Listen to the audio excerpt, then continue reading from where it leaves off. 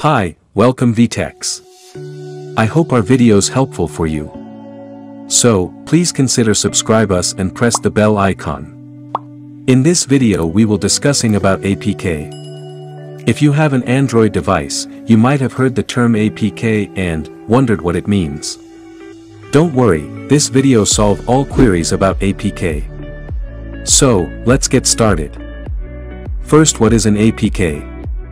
An APK is an archive file, meaning that it contains multiple files, plus some metadata about them. You're probably familiar with other types of archive files, like zip and RAR. APK stands for Android Package Kit. It's the file format that Android uses to distribute and install apps. Moreover, an APK contains all the elements that an app needs to install correctly on your device. Generally, archive files, like zip are used to combine multiple files into one, in order to make them more portable or, compress them to save space. When an archive is used to distribute software, it's then called a software package. So, all APKs are zips, but not all zips are APKs. What are APK files used for? APK files allow you to install apps on your Android phone. They're similar to the APPX files used to install store apps on Windows 10, as well as corresponding package files on other platforms. When you open an APK on your device, it contains the instructions to install on your phone and provides information about the package itself to your device. Normally, when you visit Google Play and download or update an app, the store automatically installs the APK for you. In this way, the Play Store also acts as a package manager.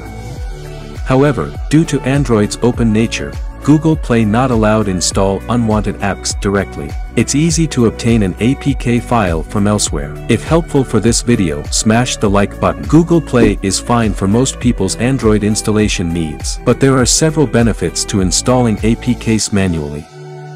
Also sometime it's danger for your device. One of the biggest benefit getting access to the latest version of apps ahead of time. When a major Google app, like WhatsApp releases a major update, it can take a week or more for your device to get the latest release from Google Play.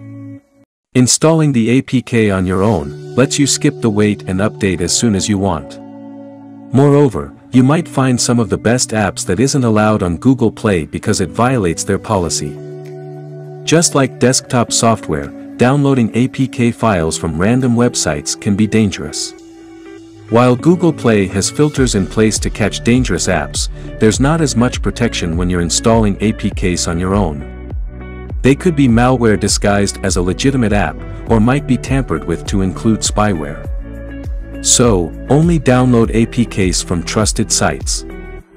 Now, finally how you can install apps on your device. It's simple, you can install apps with simple few steps. First, to set up your Android device, go to the settings, and navigate to the security option. Select the option of unknown sources to allow the installation of those apps that is not from the Play Store. With turning on this option, then only you will able to install apps on your device. Before downloading an APK file, you should be sure which APK file you want to download. You must choose a reliable trusted for opening it on your Android device without any hassle.